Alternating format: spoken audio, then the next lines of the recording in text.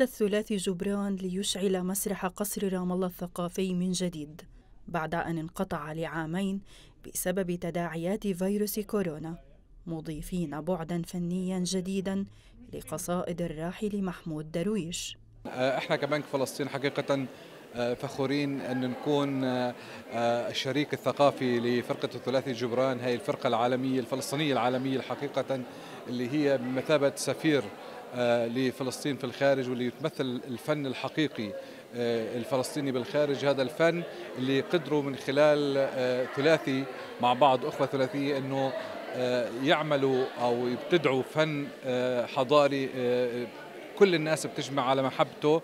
قصائد درويش تناغمت مع موسيقى الثلاثي جبران الذي أضاف إيقاعا مختلفا وفريدا لكلماته ووقعا تصويريا دقيقا. في الثالث عشر من آذار في كل عام يحتفي الفلسطينيين في اليوم الثقافي الوطني وبالتزامن مع ذكرى ميلاد الشاعر الراحل محمود درويش الذي لطالما تغنى بالحرية والحياة. اليوم عم نأكد على على مركزية العمل الفني والثقافي إنه لازم تطلع من داخل فلسطين للخارج. اليوم الأمسية هي انطلاقة لمجموعة من الحفلات اللي راح يحييها ثلاثي جبران عربيا وعالميا.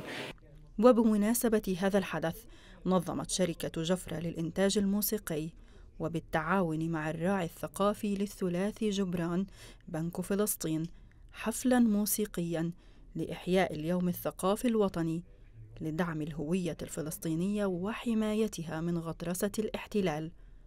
كبداية لفعاليات تنطلق من رام الله لتجول في الوطن والدول العربية والعالم.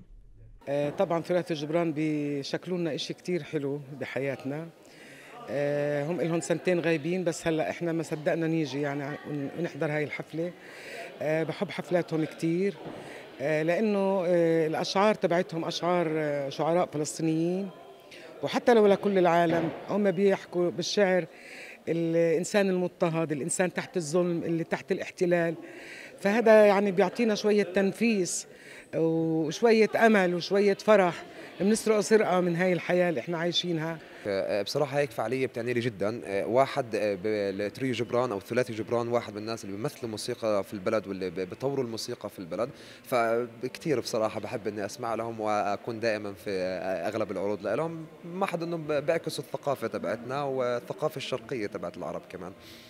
وأتت هذه الأمسية لبث روح الوحدة ولدعم الشعب الفلسطيني للنضال الدائم في شتى المجالات كتعبير صادق عن حبهم لفلسطين وانتمائهم وتأكيدا على العدالة ونضال الشعب الفلسطيني حتى انتزاع حريته والعيش بسلام.